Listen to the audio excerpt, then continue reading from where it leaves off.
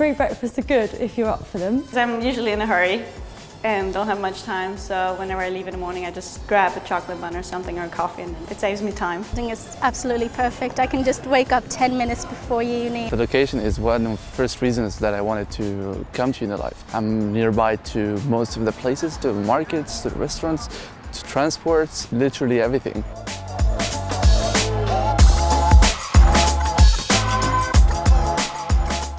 Safety is excellent and there's always someone around. Knowing that it's 24 hours, you can call, locks on every door.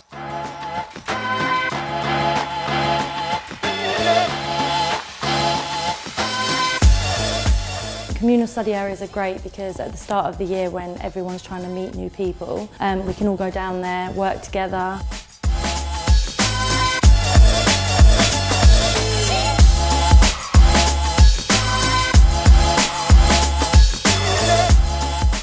Staff are my favourite part of uni life. They all know your names. It's like a big family. But they are so friendly, so accommodating. You have many social events. My favourite one was um, Chinese New Year. Pizza moments, I love it.